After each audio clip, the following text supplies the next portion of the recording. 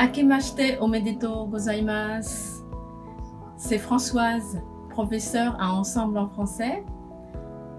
J'ai pris beaucoup de plaisir à étudier le français avec vous en 2019 et j'espère que l'année 2020 sera aussi studieuse. Aussi, je vous adresse tous mes meilleurs voeux pour que la nouvelle année vous soit belle, heureuse et prolifique. Mata yoroshiku onegai shimasu. Très bonne année et très bonne santé. À bientôt.